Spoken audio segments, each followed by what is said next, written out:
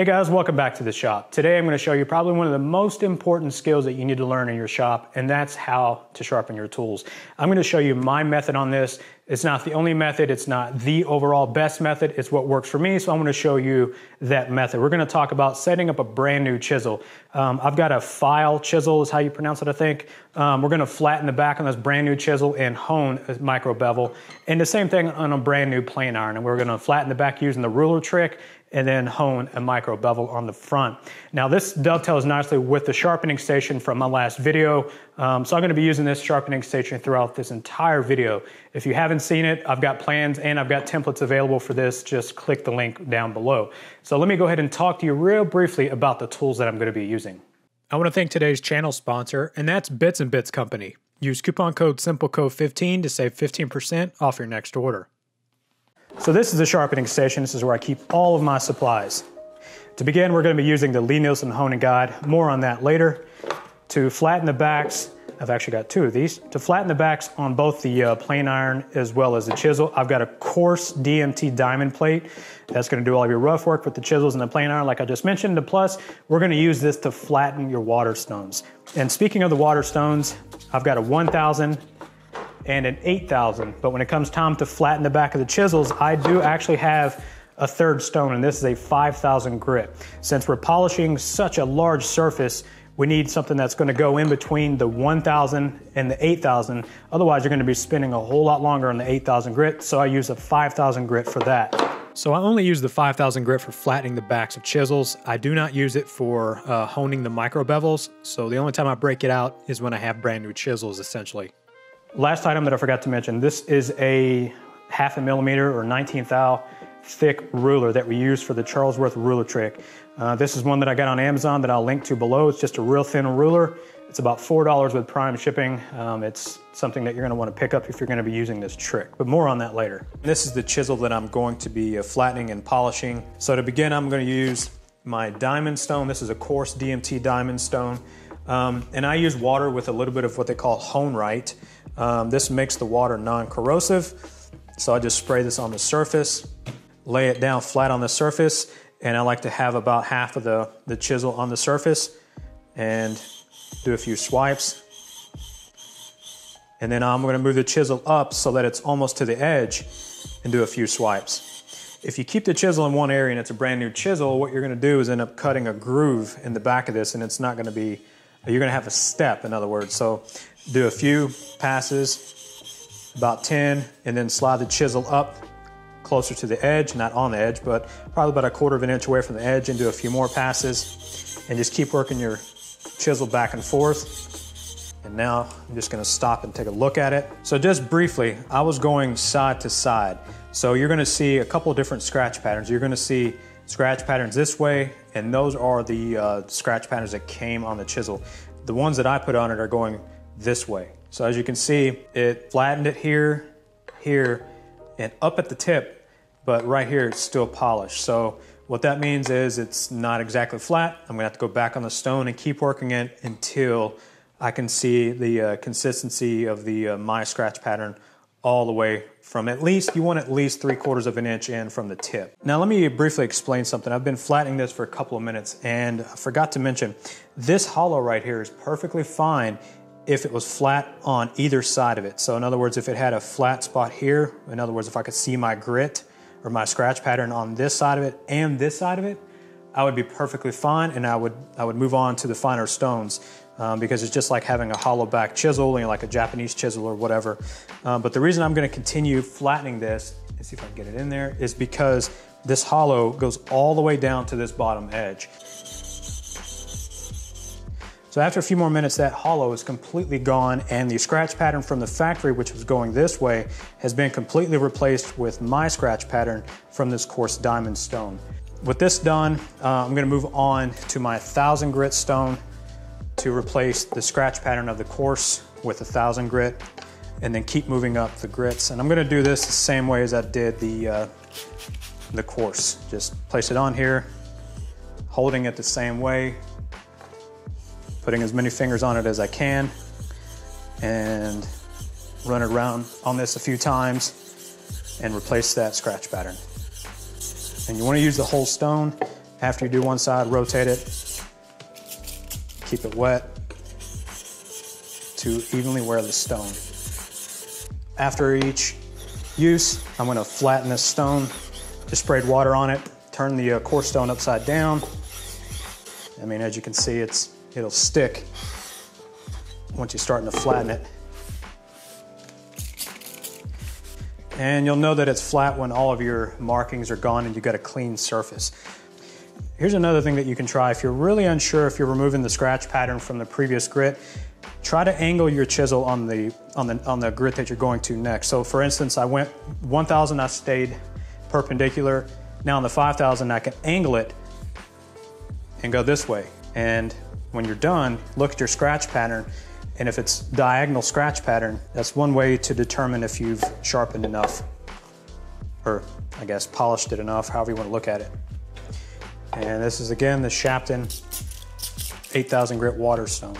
Now the last one, since I went at an angle, I'm gonna go perpendicular again, just so I can track my progress a little easier.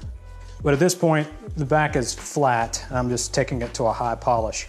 So after about five minutes, I've got a dead flat back that is polished, as you can see from this reflection, hopefully.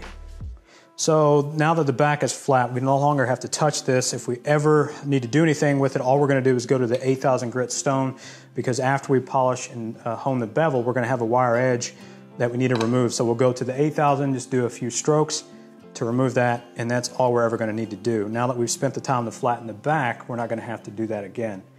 So now we can go ahead and focus on honing the bevel. I use the Lie-Nielsen honing guide to sharpen my blades and chisels, and it works fairly well. You stick the chisel in here, for instance, and depending on the amount that it protrudes from the edge of the honing guide determines the angle that it's going to sharpen. Now, on my last video, I showed you how I install these little stop blocks. They're set at a certain distance from the front edge so that when you place your honing guide up on the edge and then stick the, the, the, chisel at a certain distance, it's going to, uh, for instance, uh, sharpen at a 25 degree bevel. So what that means is each of these are set a certain distance to correspond with a, an angle. So 20 degree, 25, 30, 35, 40, 45, and 50. Just watch my last video um, if you're interested in how to set this up. And plus I sell a couple of little uh, templates or a, template to help you quickly set these up on your uh, sharpening station. So this is a field chisel. I think I mentioned it earlier. It comes with a 25 degree primary bevel, and these actually already have a 30 degree micro bevel on the edge because you don't need to sharpen or polish this entire bevel. You only need to sharpen and polish the very edge. So what, uh, oftentimes what a lot of folks will do is their chisels will come with a 25 degree bevel. They'll actually uh, put a 30 degree micro bevel like this one has on it, and it's just gonna make this sharpening process a whole lot faster. Now, before I move forward, this Lie-Nielsen honing guide, they state on their website, it's made specifically for their tools that may not work with your blades or chisels. Um, one thing that I've noticed with this honing guide, if you have a chisel that has um, the bevel where it tapers in thickness, as you can see, it's thicker right here than down here, you're gonna have problems. It'll hold it in the guide, but you're gonna have problems of it holding it square to the edge, so you may get a skewed bevel. These chisels have a, um, a consistent thickness on the bevel, um, but one thing you can do is you can always put it in there and then take a square and check and make sure that it is perfect in the guide. So I've got this set to 30 degrees and I just did that. Ooh, actually, no, I don't. I need to see, I was talking too much. Got it placed on the 30 degree stop, tighten this by hand, and then just take the screwdriver.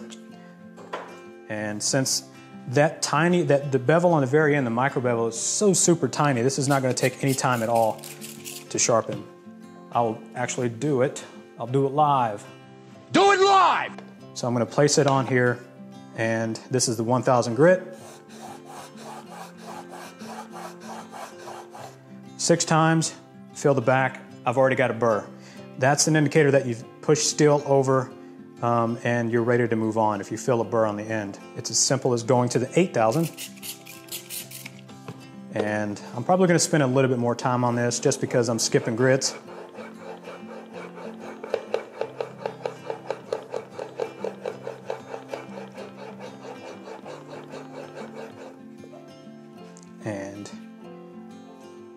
That's it. Now, like I mentioned earlier, we have the flat back, um, so we're not gonna have to do any more work to that. However, since we just sharpened this, we pushed this steel over, we've got a wire edge on the back. That could fall off while you're using the chisel, but it's probably best to just take it, keep it dead flat, and go one, two, three. I put the macro lens in just to give you an idea of what I'm talking about when I say micro bevel. This is the chisel that we literally just sharpened. As you can see on the very leading edge, that little strip is the micro bevel. There's no need to sharpen this entire bevel. We only need to sharpen just the tip of it. And um, as you can see, if you do a micro bevel, it doesn't take any time at all to, uh, to get this sharp. Just a few strokes on 1,000 and then 8,000 and then you're ready to go. Flattening the back of your plane iron is really simple using the Charlesworth ruler trick. I've got a half a millimeter thick or I believe 19 thou uh, thick ruler. This is just a six inch ruler that I got on uh, Amazon. I'll leave a link to that in the description. It's $4 with prime shipping. You really can't beat it. So essentially what we're gonna do is put a super, super tiny back bevel on the back side of this plane iron. It, you could do this and get away with it using it um, on the plane iron, but you cannot do this on a chisel because again, on a chisel, you need a flat back. So how that works is you're gonna lay your, your uh, ruler on one edge and then lay your uh, plane iron bevel up on the other. And you're gonna stay within about a quarter of an inch of the edge. And you're going to go back and forth after about a minute. Actually, not even a minute, I don't know why I said a minute. A few strokes. Stop and take a look. And what you're going for is the very leading edge is gonna have a, uh, start to get a polish on it from your 1000 grit stone. I don't have it just yet, so I need to keep going. This was kind of awkward, just holding it with one hand and holding the plane iron with your three fingers, pressing down. After a few minutes, you'll see this, this area, if I can get it on there, there we go. But you can see it goes all the way across to right to this edge. So that two thirds of one degree back bevel is all we need to do, or that's all that I do uh, to flatten the back of your plane irons, which saves a whole lot of time compared to uh, flattening the back of chisels. I completely forgot to record the next thing, and that is to move on to the 8000 grit using the ruler trick again until you polish the back to a mirror-like surface. This plane iron came with a 25 degree primary bevel, and we're gonna put a 30 degree micro bevel just like the chisel. Except the chisel actually came with a micro bevel already on it, which is strange, I've never seen that before clamp it. And just like before, this is the 1000 grit. Um, I got a wire edge on the back. That means it's time to move on. So now I'm on the 8000. And I probably didn't show this on the chisel. I put my thumbs on the back, two fingers on the front, each corner to press down evenly. And you don't need to put a lot of pressure. Now, if you're wanting to do a slight camber like on a smoother or something, you would put more pressure on one side for a few swipes, put more pressure on the other side for a few swipes, and it's going to camber the blade just a little bit so that it doesn't leave plane tracks. And that's all it takes.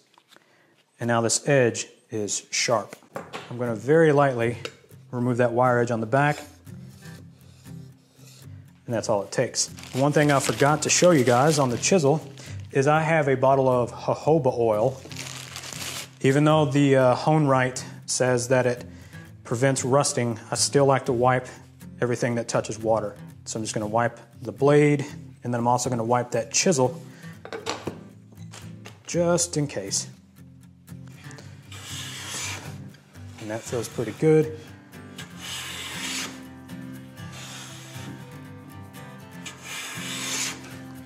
Full length shaving and it's awesome.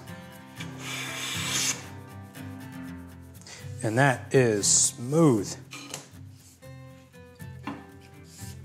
All right, guys, as you can see, my process for sharpening chisels and plane irons is really straightforward and pretty simple. Setting up the new chisels takes the longest because you got to flatten that, not the entire back, but probably the first three quarters of an inch. But this process makes that relatively simple. So with a core stone, a 1000 grit, and an 8000 grit, you can have the same results that I have here. Just practice and really learn how to get this process down. One thing that I want to cover real quick, that I didn't in the video is how, you know, sooner or later that primary bevel is going to get smaller and smaller and consumed by that micro bevel. In other words, the micro bevel is going to get micro bevel rather is going to get taller and taller and you're going to have to take this back down to that primary bevel of 25 degrees for instance on this chisel. So you'd put this in the honing guide, put it back on 25 degrees and use some coarse material such as uh, a extra coarse diamond plate, 60 or 80 grit sandpaper, or even Shapton sells a 120 grit waterstone. Just something that's coarse that you're going to reset that primary bevel back down to 25 degrees, um, just so you're not taking you know 10 or 15 minutes to sharpen that micro bevel, which is now almost consumed that primary bevel. Same thing goes for your plane irons. Just keep an eye on that. If it's taking forever, bring it back down to that primary bevel.